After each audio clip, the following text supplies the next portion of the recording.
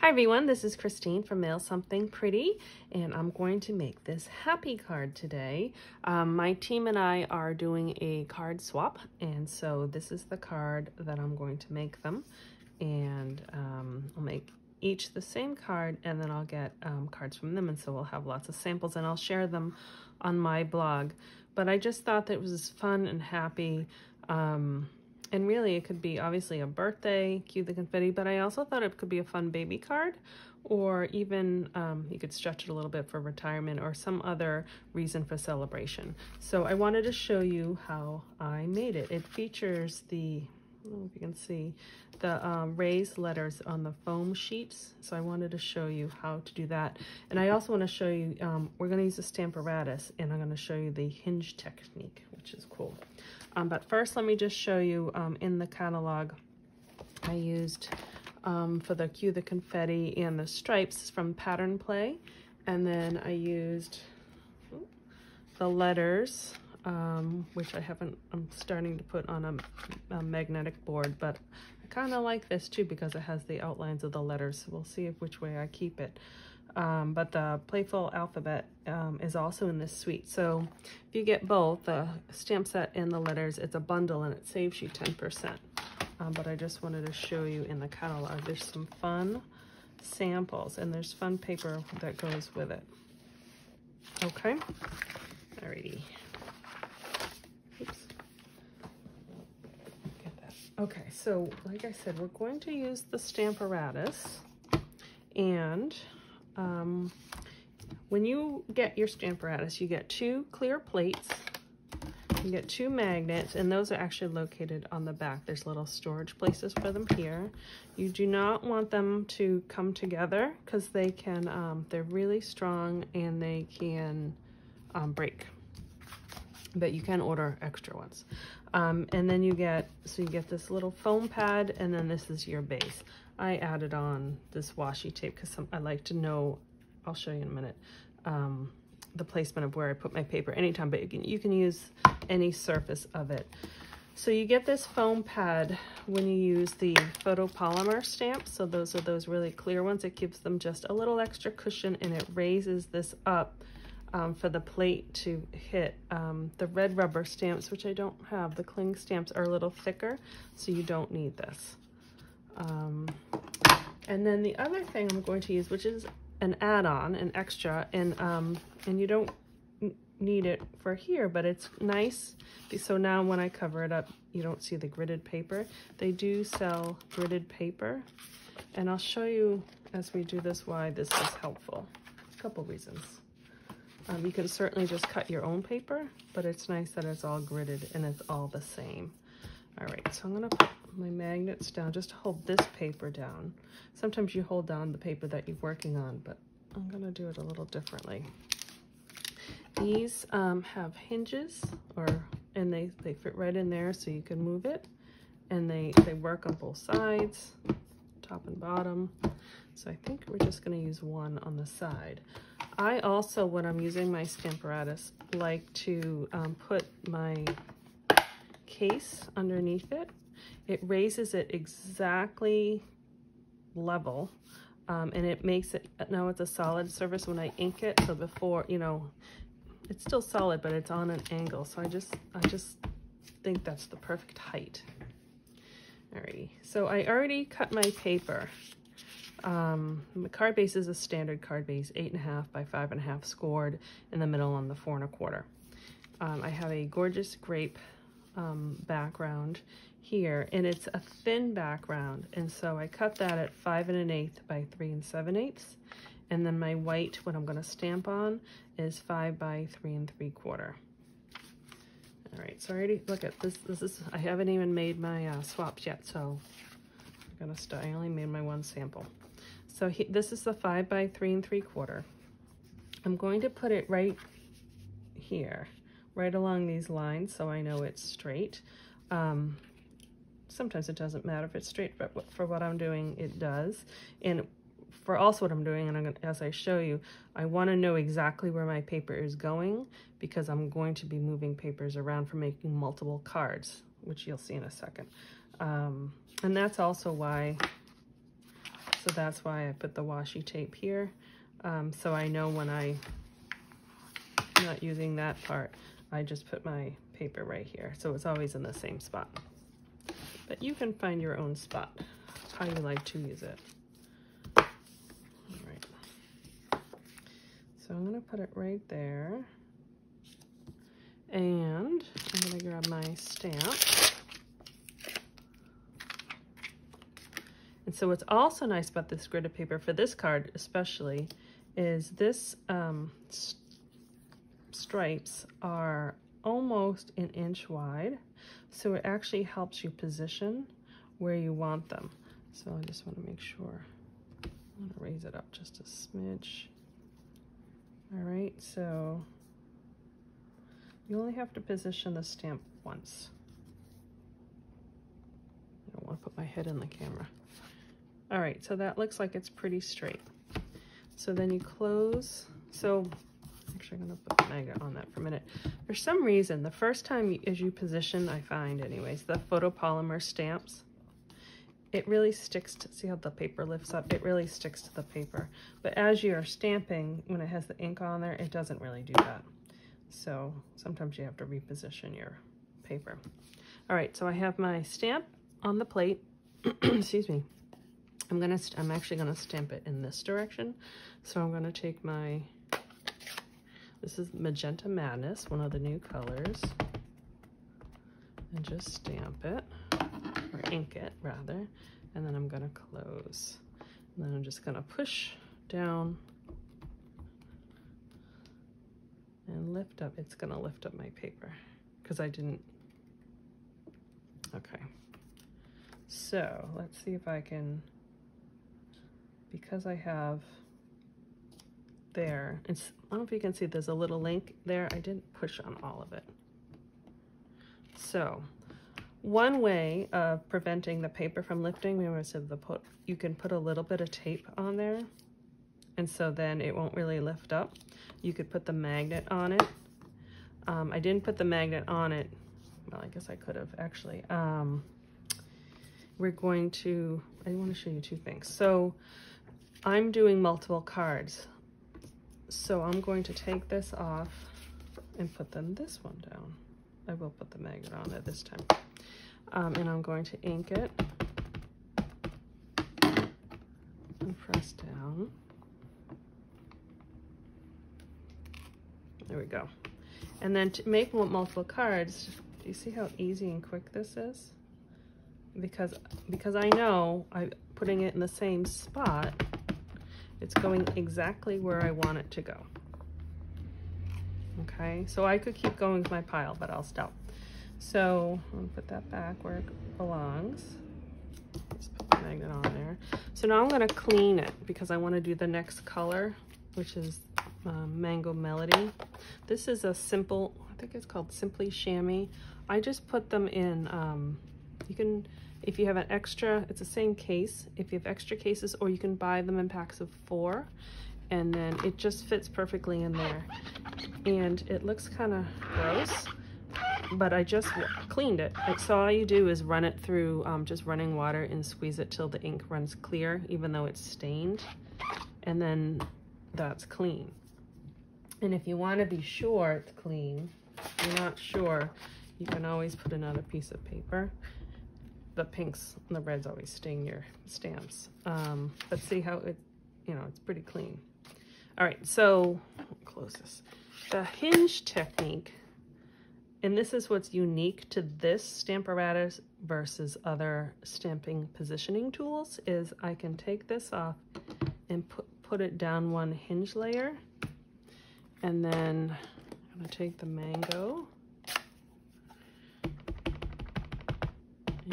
that up. Close that, like that. And then again, if I'm doing multiple cards, I can move that over, put that in the same spot, know where it's going, ink it. So just imagine as you're making, you know, the occasions for making multiple cards are usually Christmas, or if you have to make a whole bunch of birthdays. Um, this technique, I'll do one more, um, really um, is a time efficiency, but it's also an exact placement tool. So it's really kind of cool. All right. You also see I have ink here, but it didn't get on the paper. So that's another great thing. All right, well, actually I'll leave that there. I'm gonna wash this off. Now I'll just finish this one. I won't do the multiples. And my next color is Granny Apple Green. I'll put a post on my blog, say what colors I used and everything. Um, I'm actually gonna make sure because that didn't really look like I washed it off good. Yep, I did. It's because of the um, the staining. Oop, look at, see, I didn't hinge it down. So hinge down. There we go. And now I'll move my magnet up there. Wash it off. Hinge it down. And my next color is Coastal Cabana.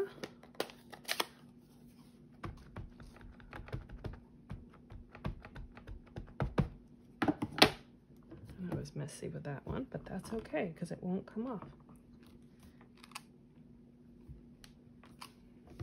Okay, and my last one is Highland Heather. Um, so you can see you have possibilities. The cool thing is sometimes when you have words and then you can do like thank you, thank you, thank you, thank you, or happy birthday or whatever, um, you have to play with a little bit because each stamp has a different width. And so you'll, the, the distance between the stamps will vary depending on how wide the stamps are. So a wider stamp, they would be a little closer together. If some wide, wide stamps, it they'll be they'll be overlapping. Um, so you have to play a little bit to know which ones work. But this one I think is perfect. All right. So there we go. So now you have your stripes Just wash this so I don't get it on me. Right, and the other cool thing, there's a lot of cool things. Um, you can flip this over so you can, actually maybe we'll even do that because we can stamp the inside of the cards, but so you can use two sides of the plates and you have two plates so you can really do um, different stamping. All right, I'll take that off move that aside for a second. So you can see, I could have, um, as I was aligning it, I could have made it go up a little bit more, but I wanted to show you um, how it worked within those grid lines. So I could, see, I could leave it like that. This one I trimmed slightly. Yeah, I'm just gonna trim it ever so slightly, so it's up to you um, but just so I don't have as much of a, a, a white border on this side. So it looks a little bit more symmetrical, at least to me. All right, so I'll finish those later. So that was that. And then this is, I put a card base of Purple Posy.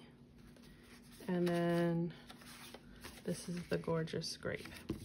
So I'm going to use the new Stampin' Seal. Get the part I missed, which is very strong. All right, so the way I cut it, it's not exact, oh, I didn't put it on straight.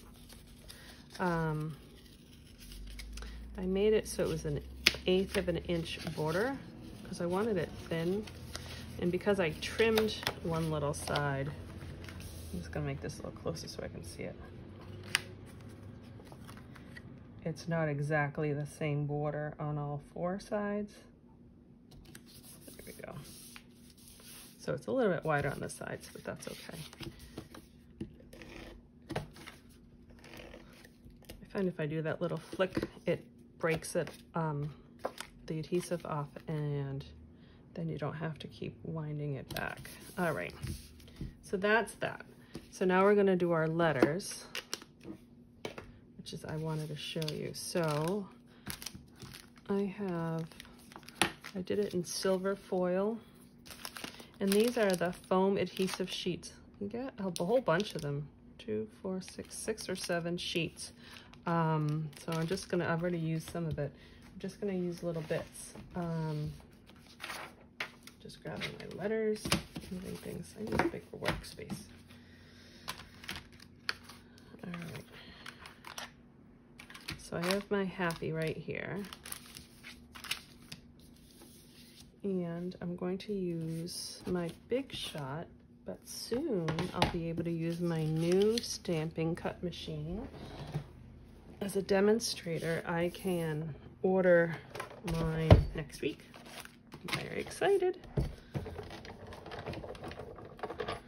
And customers, you guys can order your, if you're gonna get a new stamp and cut machine, you can order it September 1st, I believe. Oh, I forgot to do something. All right, so I cut my foil because um, I have limited foil left, so I made it as small as possible, and I know that the letters are gonna fit on here. So then I'm going to just line it up and cut the foam sheet the same size. Just with scissors. And you can see it's like that thick. So maybe it's an eighth of an inch. And it has two peel back layers. I'm just gonna peel one of them off. And I'm gonna stick that right on there. So whatever color cardstock you wanna cut out, you stick that right on there. There we go. All right, so now we'll use our Big Shot or whatever die cutting machine. And I'm, let's see if I can remember how I place these letters on here. I think I did the P's. Really, I was, I had very limited foil paper. Actually, I have very little white paper left too. I need to put an order in. All right. Because it doesn't matter what order you put these guys in because you just want separate letters. All right, I think they're all on there. My magnet plate's making them jump around. The new magnet plate won't do this. That's why I'm excited. It won't, because this one has like 40 different magnets throughout for the new machine, it's the magnet is like a one piece, so there'll be no more jumping. All right. Oh Come on, guys.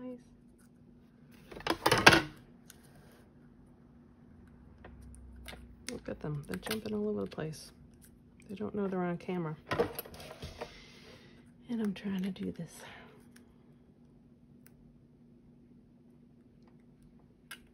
Now I could take, I don't think I have the other piece. Oh, I do. Let's get rid of the magnet plate. I'm lazy and I always use it. So this is the platform it actually comes with. Oh, these guys shouldn't jump. But now my, my fingers are sticky and they're sticking to me. Come on. Normally, I'd cut them out ahead of time which I did with another piece, but I wanted you to see how they cut with a foam. So I hope you're laughing. All right, they all on there? They're all on there. Then you just put your foam, and I'm just gonna kind of put my thumb down and make sure it doesn't move because it's thicker. And you just run it through. Oh, I think I need the other piece. Okay, we need one more piece. I forgot. I haven't used this, I haven't used this platform in a long time. I usually use, like I said, the magnet plate. All right, I forgot. You need the two pieces. There we go. That should work much better.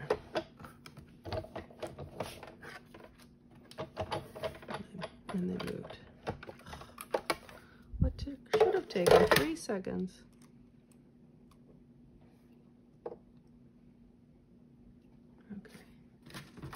Now, had I cut a bigger piece, that wouldn't have been an issue either. But like I said, oh, are you kidding me? Okay, so what I'm gonna keep rolling. You guys laugh, right? I know you like it when I make mistakes. H-A-P, lost a P. Where did it go? There it is. All right.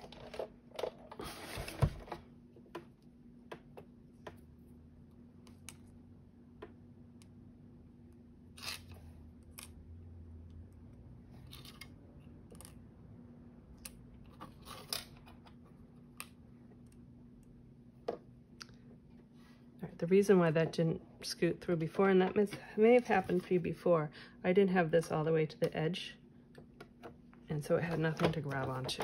Okay, here we go. So I'm gonna run it through once, but just to be certain they cut, I'm just going back.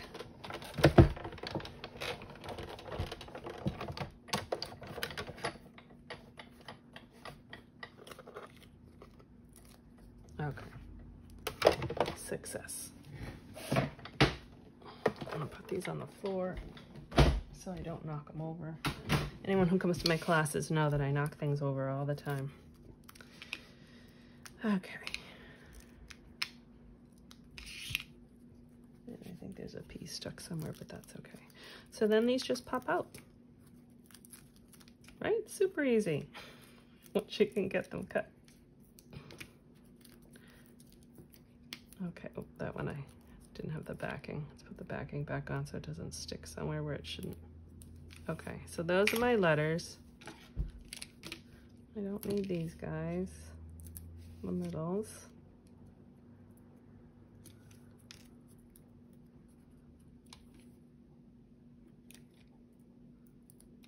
Okay, and then what we need to do, here's my sample. I already cut out, see, I usually do cutting out a, a, stitched rectangle, and that's from, I did use three sets of dies for this card, but I'm gonna show you a workaround. Um, the Tasteful, oh no, that's the wrong one. The rec stitched rectangle thinlits, I used this one. But if you don't have it, you can just cut a rectangle. So that measurement is three and a quarter by one and a quarter.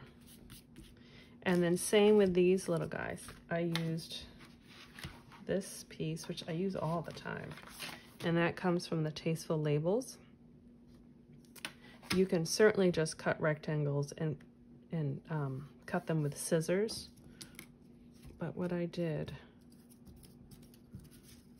is I did pre-cut these two. And then you can just cut them in half.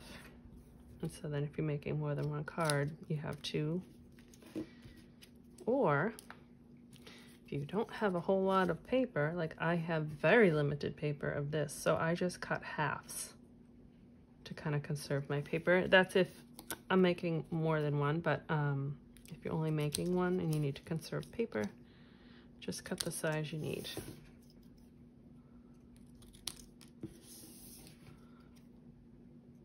All right. And little tip is this is a silicone mat, which is great when using glue. Just stuck a little glue there. I'm going to line up, I want this in the middle. So kind of in between those whites, but I'm just going to shift it up, but staying the same um, placement this way where I want it because I'm just gonna copy what I did the order. Um, I'm just gonna take a little glue, just kind of let it on there. And know, so now I know the width. So um, I can kind of place them and then I'll place, I'll move that down. Hopefully that makes sense.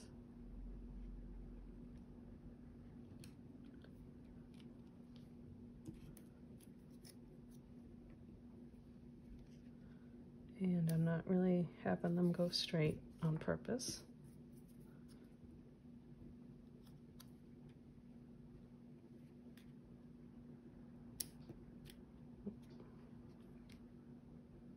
You do have a few seconds if you need to shift them with the glue, if you need to change their placements.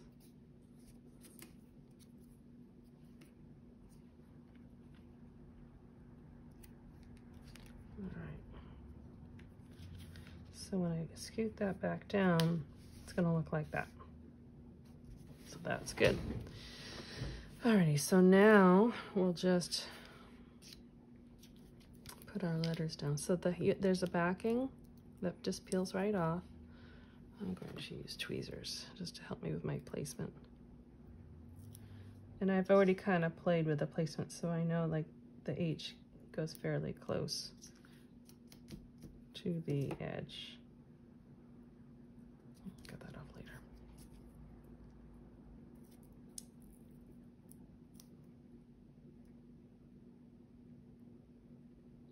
The tweezers help because sometimes your fingers are in the way to see if it's in line in alignment.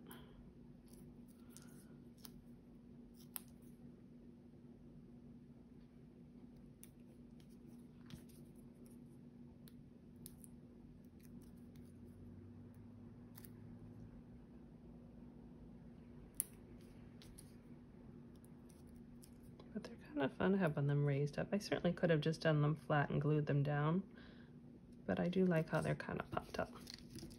All right, so now I'll just use some dimensionals on the back.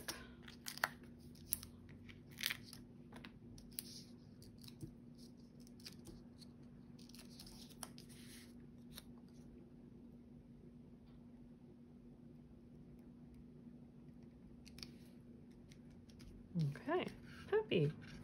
And then what I did on the inside is, I'm just gonna move this over. When I cut out all these little pennants of the colors, I noticed on the alphabet dies, there's this one. It has two little circles. And I think if I, remembering my math, uh, might have to do with division or I don't know, I have to ask my daughter.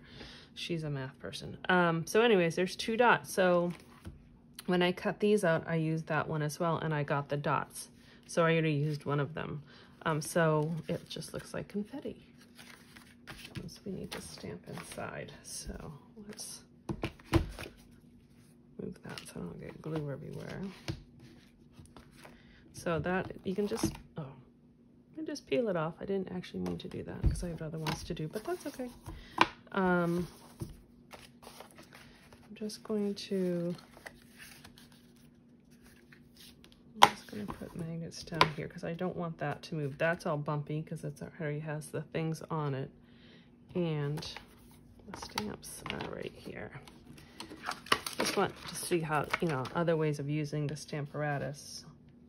So I want that to go, that looks good.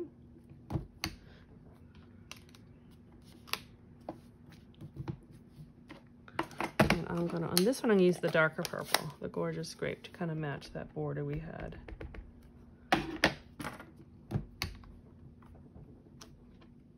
Cue the confetti. So some people use this Stamparatus instead of any blocks at all. So that is another option. Um, really, because it really does take place of blocks and it does a whole lot more. All right, so I'm just going to, I use the same little pad of glue I had. I'm going to use tweezers, just kind of dip just a tiny bit. And I'm just going to randomly, because that's what confetti does, random.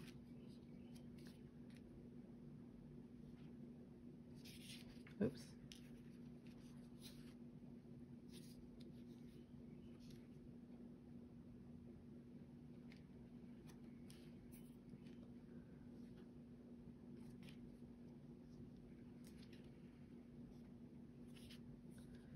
All right, so someone in the team is getting this particular card, and I'm going to finish up the other ones.